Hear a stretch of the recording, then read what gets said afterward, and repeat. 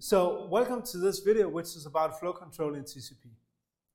The purpose of this video is for you to um, get an understanding of methods for handling congestion with a special focus on TCP slow start and what is called random early detection. So when we're talking about flow control, there are two potential bottlenecks in the network uh, when we're making a transmission. One is it, there could be a bottleneck in the network or a part of the network, and there could be a bottleneck in the receiver side. So let's start looking at the potential bottleneck on the receiving side. Uh, this is why we are using what is called sliding windows. So the idea is that the sender constantly maintains a picture of the receiver's window. So the receiver's window is how much data the receiver is able to absorb at a given point in time. And the idea is that we can only send data if the window is open. So as soon as it's filled, the sender is blocked and it cannot do anything more. Um, so let's look at the figure which we have seen before in a previous video about how to do transmissions. So in the case here, if we look at what the sender is doing, the sender is starting to make a 2K write to the receiver. This is after the connection is established and during the establishment of this connection, the sender has been informed what was the window size. So nevertheless, he is now sending 2 kilobyte of data to the receiver. When the receiver responds, he sends the acknowledgement, but in the acknowledgement, there is also an indication of the window size. And the window size is how much more data we can cope with. So he's saying that now the window size is 2 kilobyte. So with a window size of 2 kilobyte, um, the application makes the 2 kilobyte uh, write. He's sending again 2 kilobyte of data. And then the sender is blocked, as you also can see on the figure. And the sender is blocked because now he kind of sent all the data that would fit into the window. And when the receiver sends acknowledgement back, he has now indicated that, that the window size is zero, and as long as the window size is zero, the sender is still blocked. After some time, the receiving side has been able to handle the data and cope with the data, and is now sending back um, another acknowledgement containing both the acknowledgement and an updated window size.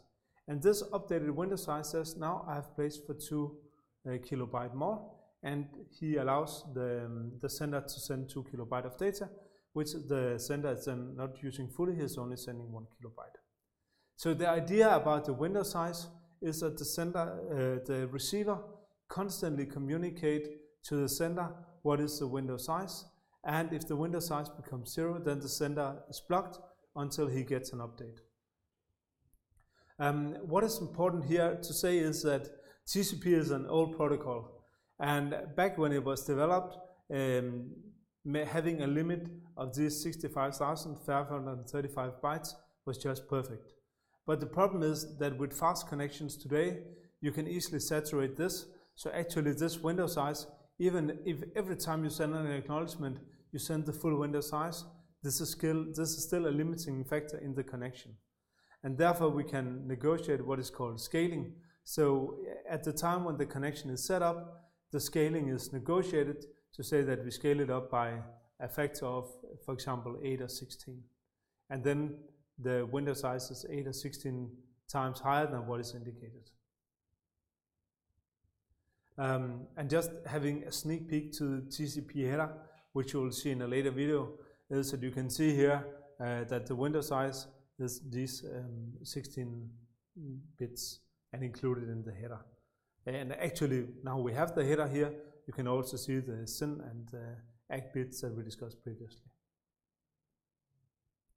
Um, so that was about, um, we can say, the, the flow control in the case uh, of what is happening on the receiver side, it's a limiting factor.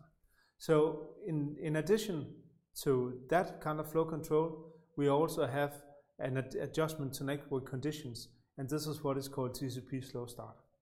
And the fundamental idea is in TCP slow start is that we have a congestion window and we have a threshold. And I will just leave the slide here for, to you for reference and then move on to the next slide where it's more visualized. So let's look at how TCP slow start works with a concrete example. Uh, so what we see here is that we have the transmission number on the x-axis and the congestion window on the y-axis. So the transmission number is kind of also the timeline here. So we see that in our first transmission, we are sending just uh, one segment. In transmission number two, we are sending four segments. In transmission number three, we're sending eight segments, etc. So it means that we have an initial congestion window size of uh, one, and then we are incre increasing it by doubling it all the time until we reach the threshold value. In this case, the threshold value is uh, 32. So we increase it until we reach the threshold, and from there we have a linear growth until we reach the, a timeout. And a timeout would typically be when we have lost a packet and when we detect that we have lost the packet. So when we have a timeout, what we do is that we uh, react as if this is a simple uh, a sign of congestion. So we go back, we, what we do is we redefine the threshold to be half of the value at the timeout. So in this case, we set the threshold value to be 20. And then we set again the initial congestion window size to be 1. And we start, now we are in transmission number 14, working up again with sending 1, 2, 4, 8 segments until we um, uh, until we reach the threshold. When we reach the threshold, we then start with the, with the linear growth again until we have another timeout. And when we have another timeout, again, we reset the threshold value and we start back from our initial congestion window size. Uh, in this case, the initial congestion window is 1, but it could also be chosen to have another value. The smart thing about this approach is that we constantly adapt to the network conditions. So if we have plenty of bandwidth to work with, then we will have um, a high congestion window size, and we will be working will be working our way up to to high values. When we have a timeout, we will then um, uh, go back to the to the new threshold value. So if we see that the traffic becomes really really really bad, then the threshold value will keep on decreasing. But if we see that the traffic is getting better and better, then uh, or the traffic condition is getting better and better, then actually we'll, we will keep on increasing the threshold uh, values. So that's a, that's a quite nice uh, way of constantly adjusting um, the bandwidth we are using. Um, there is a challenge here because we don't really know what is the lifetime of a packet. So what we use is we use the round trip time um, uh, as a kind of yeah we need to we need to estimate the round trip time because the round trip time is telling us when we would expect to receive an acknowledgement. So the round trip time is the time it takes from we send the packet till it reaches the receiver and we get the acknowledgement back. Um, and this is what we kind of can uh, can try to estimate. And what we assume here is that, this is that it doesn't change that fast over time. So it's pretty stable even between different connections. Um, and therefore we try to always guess and maintain what it, what it, what it is in the particular uh, case we're working on. And in a particular connection, I mean, between connections, this can really vary a lot. So assume that you have a super fast uh, fiber uh, network uh, over a relatively short distance, then you could have round trip times as low as 20 or 30 milliseconds. Whereas if you're working on a, a bad Wi-Fi connection in a train, then I personally experienced round trip times which were uh, more than one second. So from a few milliseconds to, to, a few seconds, that's really how, how, how much it can, it can vary. But usually it doesn't vary that much for a single connection. And that's why we, are, we, can, we can observe the past round trip times in a connection and then on that we can, we can define a heuristic. And usually in that heuristic we will take into account not only we can say the average round trip time for the last 10 transmissions, but also the variance of them, and then use the variance and round trip time to estimate when we consider a packet to be completely lost. Um, the good question is uh, that we need to define also in our protocols is where to start. So when we set up a connection, uh, what um, what round trip time estimate do we start using? And there there are different schemes, but some are using, for example, past values from connections to a similar host, etc. Uh, what is important to say is that there is a lot of tuning that can be done actually when we are talking about TCP uh, slow start. Uh, so one thing is that we don't always have to wait for a timeout, uh, especially if we have an, let's say, a more unstable uh, connection uh, with a lot of variance in, in the round trip time, then the tendency would be that the trip time estimate would be quite uh, quite high.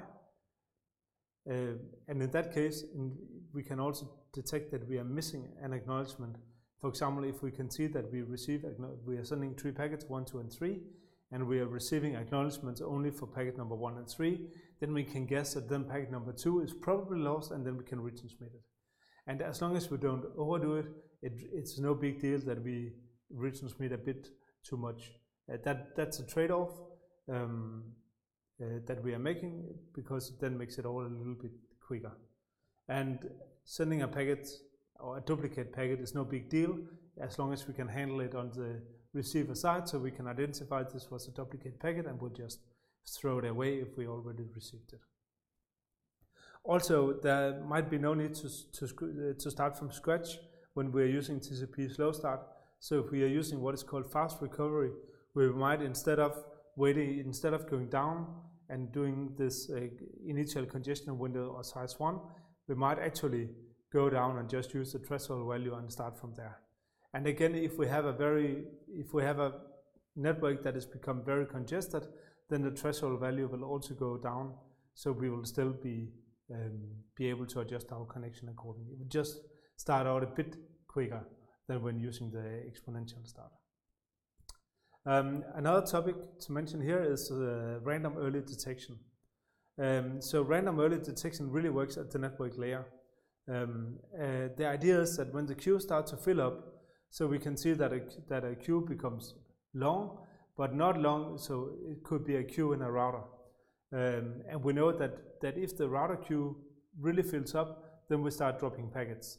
And then we get the packet loss in TCP slow start.